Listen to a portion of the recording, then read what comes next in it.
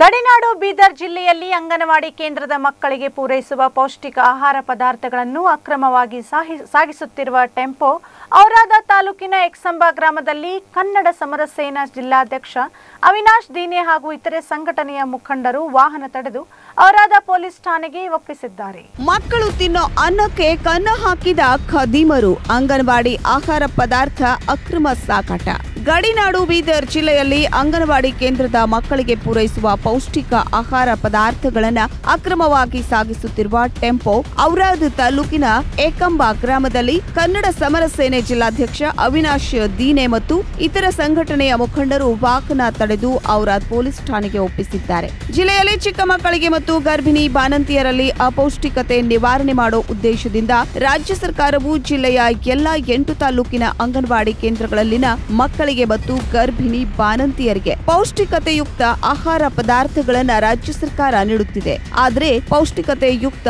ಆಹಾರ ಪದಾರ್ಥಗಳು ನಮ್ಮ ಮಕ್ಕಳಿಗೆ ಸಿಗುತ್ತಿಲ್ಲವೆಂದು ಸಾರ್ವಜನಿಕರ ದೂರಿನ ಮೇರೆಗೆ. ಕನ್ನಡ ಸಮರ ಸೇನೆ ಸಂಘಟನೆಯ ಸದಸ್ಯರು ವಾಹನದ ಬೆನ್ನತ್ತಿ ಅಕ್ರಮವಾಗಿ ಆಹಾರ ಪದಾರ್ಥಗಳನ್ನ ಸಾಗಾಟ ಮಾಡುತ್ತಿದ್ದ ಟೆಂಪೋ ವಾಹನವನ್ನ ತಡೆದು ಔರಾದ್ ಪೊಲೀಸ್ ಠಾಣೆಗೆ ವಾಹನವನ್ನ ಒಪ್ಪಿಸಿದ್ದಾರೆ. ಶಿಶು ಅಭಿವೃದ್ಧಿ ಇಲಾಖೆಯಿಂದ ಅಂಗನವಾಡಿ ಕೇಂದ್ರಗಳಿಗೆ ಆಹಾರ ಸಾಮಗ್ರಿ ಸರಬರಾಜು ಮಾಡುವ ವಾಹನಗಳಿಗೆ ಜಿಪಿಎಸ್ ಯಂತ್ರ ಅಳವಡಿಸಲಾಗುತ್ತದೆ ಮತ್ತು ವಾಹನದಲ್ಲಿ ಇಲಾಖೆ ಸಿಬ್ಬಂದಿಗಳು ಇರುತ್ತಾರೆ. ಆದರೆ ಏಕಂಬ ಗ್ರಾಮದಿಂದ ಮಹಾರಾಷ್ಟ್ರಕ್ಕೆ ಹೋಗುವ ವಾಹನದಲ್ಲಿ ಓರ್ವ ಸಿಬ್ಬಂದಿ ಕೂಡ ಇರಲಿಲ್ಲ ಎಂದು ಸಂಘಟನೆ ಸದಸ್ಯರ ಆರೋಪವಾಗಿದೆ. ತಾಲೂಕು ಶಿಶು ಅಭಿವೃದ್ಧಿ ಅಧಿಕಾರಿ ಶಂಭುಲಿಂಗ ಹಿರೇಮಠ್ ಇಲಾಖೆಯಲ್ಲಿ ಭಾರಿ ಅಕ್ರಮ ಮಾಡಿದ್ದಾರೆ. ಅದರಂತೆ ಅವರ ಬೆನ್ ಹಿಂದೆ ಸ್ಥಳೀಯ ಜನಪ್ರತಿನಿಧಿಗಳ ಕೈವಾಡ ಇದೆ ಎಂದು ಸಂಘಟನೆ ಸದಸ್ಯರ ಆರೋಪವಾಗಿದೆ. ಇದು ಎಷ್ಟರ ಮಟ್ಟಿಗೆ ಸರಿ ಎಂಬುದು ತನಿಖೆಯ ನಂತರವಷ್ಟೇ ಸತ್ಯಾಸತ್ಯತೆ ಹೊರಬರಬೇಕಾಗಿದೆ.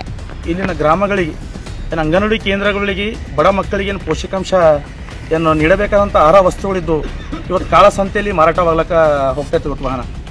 ವರ್ಷಿಗೆ ತಿಂಗಳಿಗೆ ಏನಂದ್ರೆ ಐವತ್ತು ಲಕ್ಷಕ್ಕಿಂತ ಹೆಚ್ಚಿಗೆ ಅನುದಾನ ಆ ಇಲಾಖೆಗೆ ಬರ್ತವೆ ಇಲ್ಲಿಂದು ಬಡ ಏನು ಅಪೌಷ್ಟಿಕ ಮಕ್ಕಳಿದ್ದಾರೆ ಆ ಪೌಷ್ಟಿಕ ನಿರ್ವಹಣೆಗೋಸ್ಕರ ಸರ್ಕಾರದಿಂದ ಸಾಕಷ್ಟು ಅನುದಾನ ಬರ್ತವೆ ಆ ಅಂಥ ಒಂದು ಪೌಷ್ಟಿಕ ಆಹಾರಗಳು ಇವತ್ತು ಕಾಳ ಸಂತೆಯಲ್ಲಿ ಇದೊಂದು ಖಂಡನೆ ವಿಷಯ ಅದ.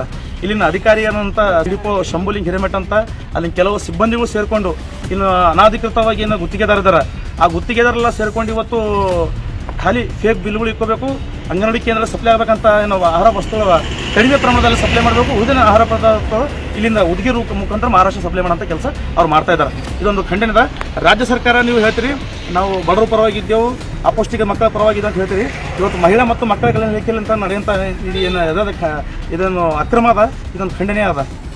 ಏನು ಎರಡು ಸಾವಿರ ಹನ್ನೆರಡರಲ್ಲಿ ಏನು ನಮ್ಮದು ಹೈದರಾಬಾದ್ ಕರ್ನಾಟಕ ಭಾಗದಲ್ಲಿ ಅತ್ಯಂತ ಅಪೌಷ್ಟಿಕತೆ ಹೊಂದಿದಂಥ ಮಕ್ಕಳಂತ ಬಿದರ್ ಜಿಲ್ಲೆಯಲ್ಲಿ ಇರ್ತವೆ ಇದು ನಾಲ್ಕು ಜಿಲ್ಲೆಯಲ್ಲಿ.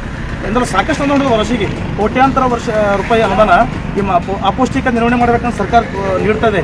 ಆದರೆ ಇಂಥ ಭ್ರಷ್ಟ ಅಧಿಕಾರಿಗಳು ತನ್ನ ಒಂದು ಕೂಟವನ್ನು ರಚಿಸ್ಕೊಂಡು ತನ್ನ ಬೇಕಾಗಿನ ನಂತರ ಏನದ ಆಹಾರ ಪದಾರ್ಥ ಕಳಿಸ ಸಂಖ್ಯೆ ಮಾಡ್ತಾರೆ. ಇದಕ್ಕೆ ನಾ ಇದು ಈ ಮುಖಾಂತರ ಜಿಲ್ಲಾಡಳಿತಕ್ಕೆ ಒಂದು ಮನವಿ ಮಾಡ್ತೀನಿ.